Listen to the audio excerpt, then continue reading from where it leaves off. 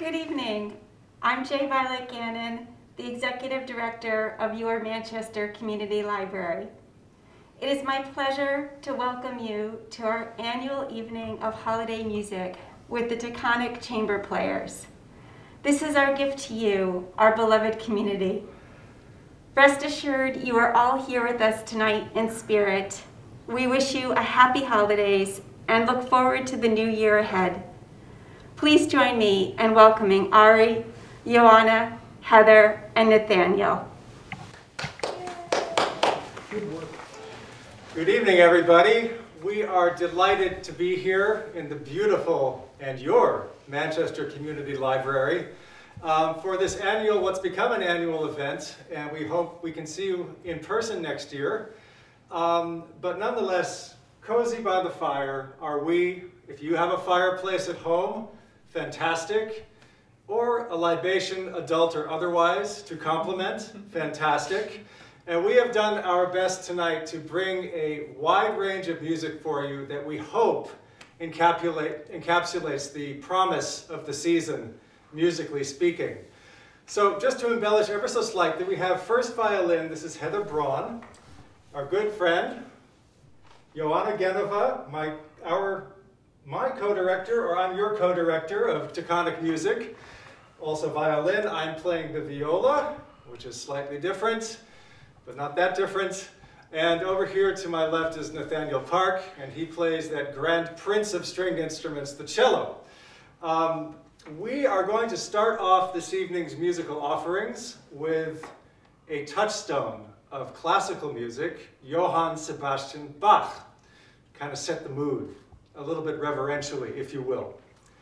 So this is the Sinfonia that begins the Christmas Oratorio, a piece composed in 1734, a collection of cantatas that celebrates starting with the Christmas season and going all the way through Epiphany, I yeah. believe is the correct term, um, in various stages of celebration. So we begin with Bach, who has some but he said somewhere along the way, Bach is Bach, as God is God.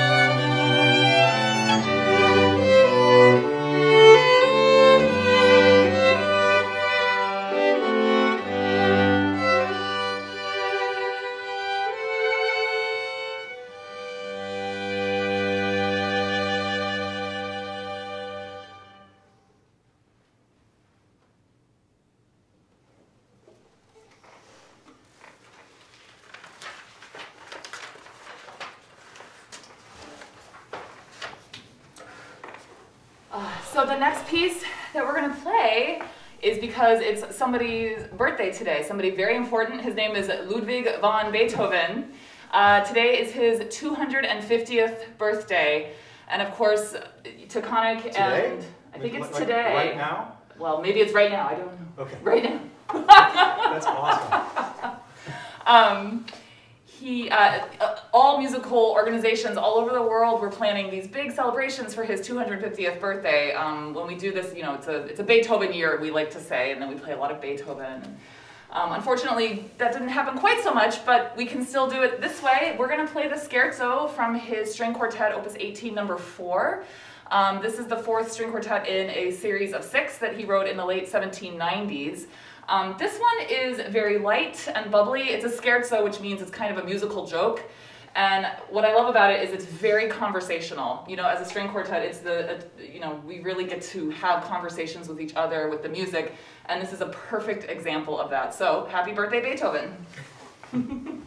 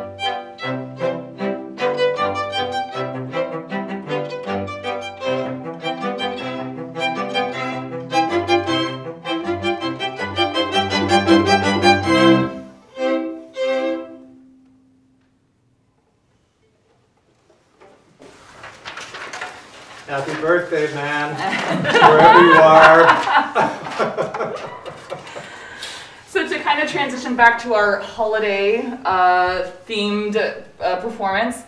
We're gonna play a piece. Uh, we're gonna play "We Wish You a Merry Christmas." Okay, everybody knows that one. This is an arrangement by Matthew Naughtin. Um, he's a composer and arranger. I believe he lives in California. Is that correct? Yes. Um, and he's really uh, famous um, in the string quartet world. He, he's created a lot of these really great arrangements of tangos and waltzes and jazz standards, you know, from the great American Songbook. He, he's a really fantastic arranger um, for this uh, genre, this kind of stuff that we can play um, pieces that are not necessarily just strictly classical. So he made an arrangement of We Wish You a Merry Christmas, and it's going to sound very familiar. Um, it says, We wish you a Merry Christmas, arranged by Matthew Naughtin, and then it says, with apologies to Ludwig von Beethoven. So this might sound very familiar uh, to compared to what we just played before.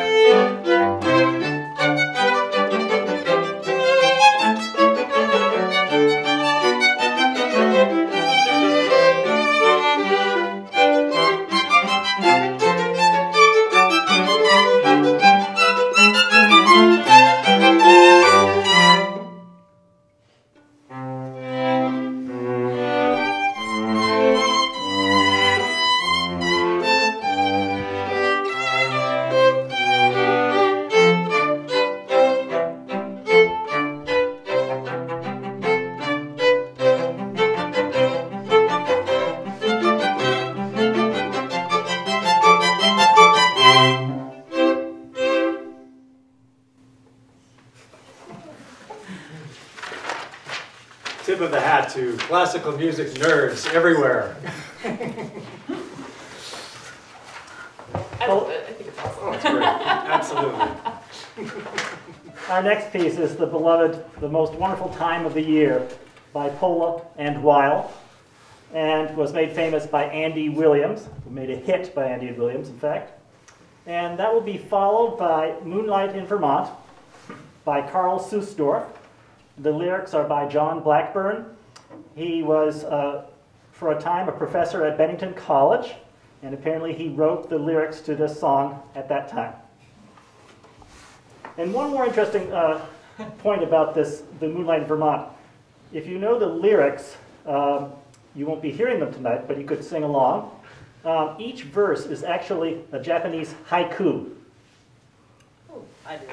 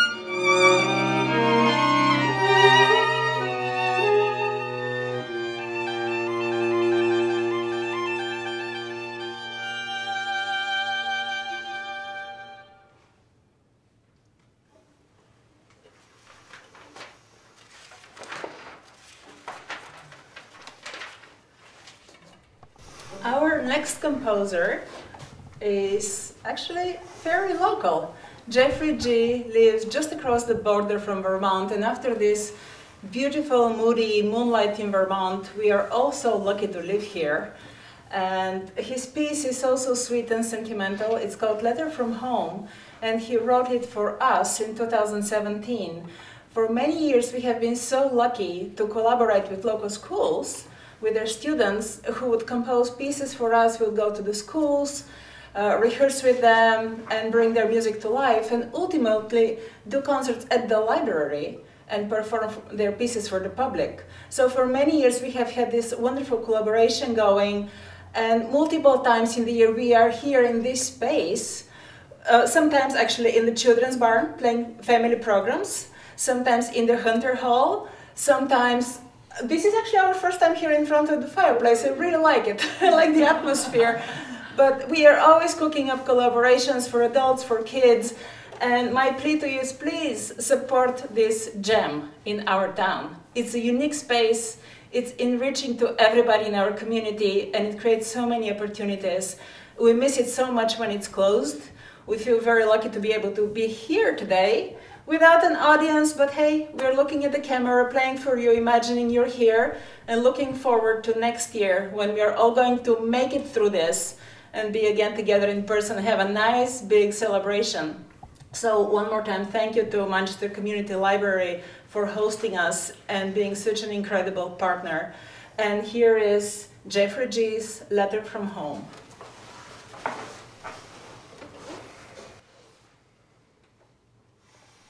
Thank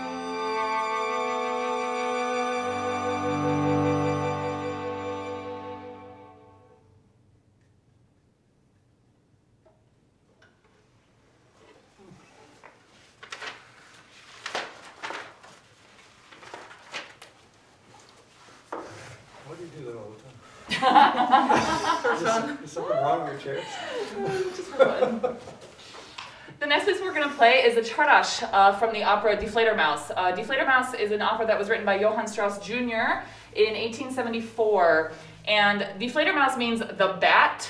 Um, and it's a very um, uh, comedic opera. There's a lot of, um, shoot, there's a lot of like practical jokes and um, people that are, you know, mistaken identity and practical jokes and people trying to kind of pretend that they're something else other than what they are. And then all the comedy and fun ensues. Um, it's a really beautiful, beautiful opera and hilarious. Uh, this is a Czardas, which is usually a Hungarian um, uh, type of gypsy uh, piece that is played. Um, in the opera, this is sung by the character Rosalinda, who is pretending, again, you know, everybody's trying to pretend that there's somebody else. She's pretending to be a Hungarian countess. Um, so, of course, she's going to sing something that is Hungarian, which is this Czardas. Um, it's super fun and really fun to play, actually, yeah. So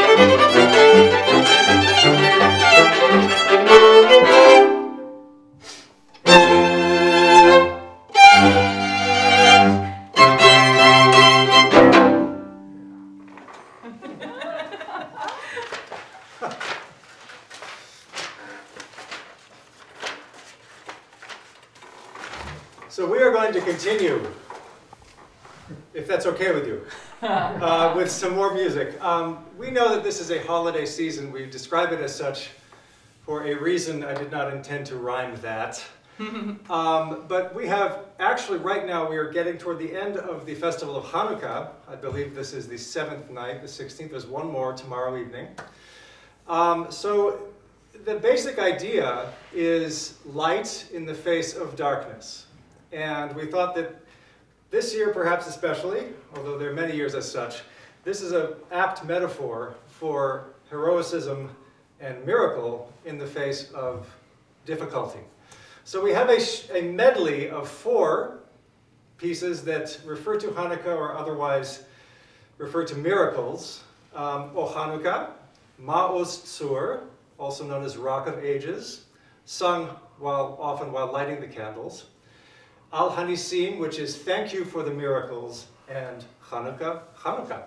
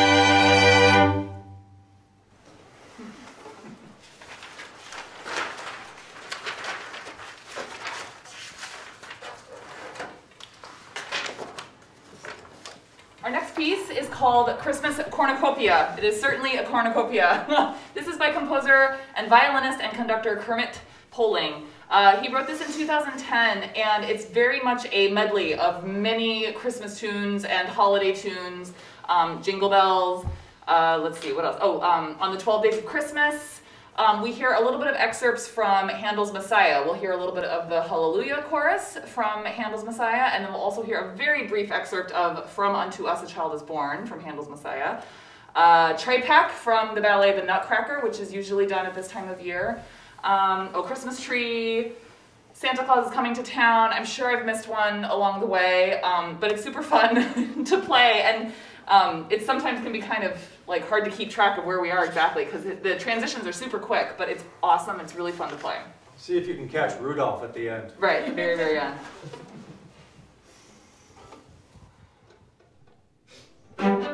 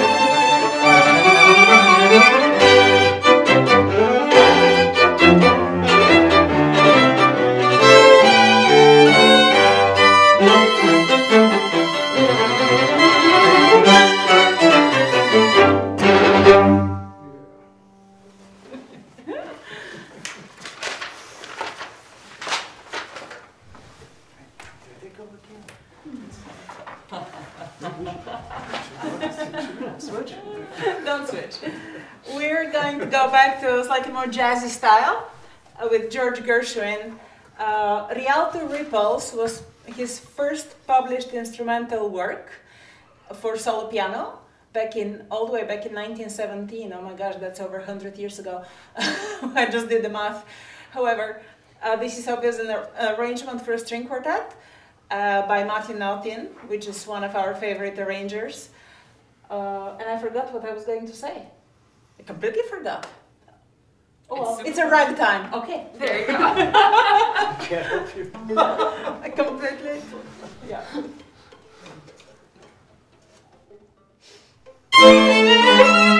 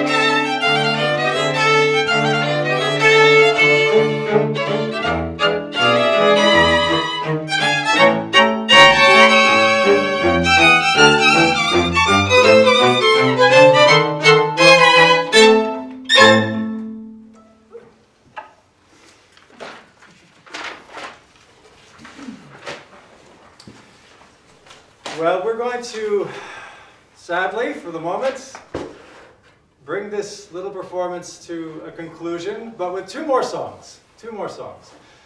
And these are beloved songs for many reasons, and they were both written under the same influence of inspiration, or perhaps perspiration might have been more appropriate. Mel Torme, the man with the golden voice, wrote this the Christmas song, otherwise known as "Well, You Know," um, and Leroy Anderson wrote "Sleigh Ride" during a blistering heat wave in July. I'm pretty sure 1946 or thereabouts, and they were both really trying to channel cold, cool thoughts in the middle of, of a heat wave. Mel Torme with his chestnuts roasting on the open fire, and that maybe next year we'll get a little pot with some chestnuts roasting. Um, and of course, sleigh ride and horses and lots of snow, which we are anticipating this evening. So these two, I think, for many, capture a flavor of the season that we're all very familiar with and that we love and look forward to each and every year. And once again, this wonderful, wonderful community library, which is such an incredible resource for a community, please support your library. We need this badly. So until we meet again in person, we wish you happy, happy holidays and enjoy the rest of the music. We'll see you soon.